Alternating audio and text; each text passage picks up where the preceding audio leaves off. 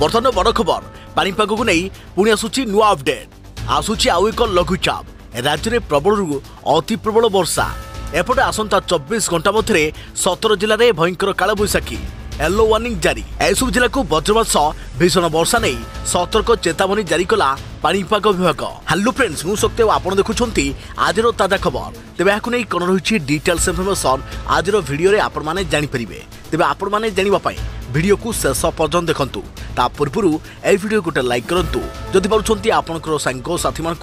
ভিডিওটিকু share কৰিনিয়তু যদি friends আপন মানে আমাৰ এই চ্যানেললে নয়া ভিডিও দেখুছন্তি পূর্বরু কেবে বি আমাৰ এই চ্যানেলকু সাবস্ক্রাইব করনাতি ତେବେ ନିହାତି ଚ୍ୟାନେଲକୁ ସବସ୍କ୍ରାଇବ୍ କରିବା ସହିତ ପାଖରେ ଆସୁଥିବା ବେଲ୍ ଆଇକନ୍କୁ ବଜାୟ ରଖିଥାନ୍ତୁ ତେବେ ସମୁଦ୍ର ସ୍ତରରେ ମୌସୁମୀ ଟ୍ରଫ୍ ଲାଇନ୍ ବର୍ତ୍ତମାନ ଦକ୍ଷିଣ ପୂର୍ବ ପାକିସ୍ତାନ ଉପରେ ରହୁଥିବା ଲଘୁଚାପ କ୍ଷେତ୍ରରେ କେନ୍ଦ୍ର ଦେଇ ଗତି କରୁଛି ଏବଂ ଦକ୍ଷିଣ ପଶ୍ଚିମ ତାପରେ ପୂର୍ବ ଦକ୍ଷିଣ ପୂର୍ବ ଦିଗରେ ଗତି କରି ଉତ୍ତର ପୂର୍ବ ବଙ୍ଗୋପସାଗରକୁ ଯାଉଛି ଏହାର ପ୍ରଭାବରେ ଓଡ଼ିଶାର ଜିଲ୍ଲାଗୁଡ଼ିକରେ ଅଳ୍ପ କିଛି ସ୍ଥାନରେ ହାଲକାରୁ ମଧ୍ୟମ ଧରଣର ବର୍ଷା କିମ୍ବା ବଜ୍ରପାତ ହେବାର ସମ୍ଭାବନା ରହିଛି ବୋଲି ଆଜି ଅପରାହ୍ନରେ ଭାରତୀୟ ପାଣିପାଗ ବିଭାଗର ଭୁବନେଶ୍ୱରସ୍ଥିତ ଆଞ୍ଚଳିକ କାର୍ଯ୍ୟାଳୟ ପକ୍ଷରୁ ଜାରି ଏକ ସତର୍କ ସୂଚନାରେ କୁହାଯାଇଛି ତେବେ ଆସନ୍ତା ଚବିଶ ଘଣ୍ଟା ମଧ୍ୟରେ ଅର୍ଥାତ୍ ଆସନ୍ତାକାଲି ରାତି ସୁଦ୍ଧା ରାଜ୍ୟର ମୟୂରଭଞ୍ଜ କେନ୍ଦୁଝର ବୌଦ୍ଧ ନୟାଗଡ଼ ଖୋର୍ଦ୍ଧା ରାୟଗଡ଼ା କୋରାପୁଟ ମାଲକାନଗିରି ନବରଙ୍ଗପୁର ଗଜପତି ଗଞ୍ଜାମ ଅନୁଗୁଳ ଢେଙ୍କାନାଳ କଟକ ପୁରୀ ଯାଜପୁର ବାଲେଶ୍ୱର ଭଦ୍ରକ আদি প্রভৃতি সতেরটি জেলার গোটিয়ে কিংবা দুইটি স্থানের বজ্রপাত হবার সম্ভাবনা রয়েছে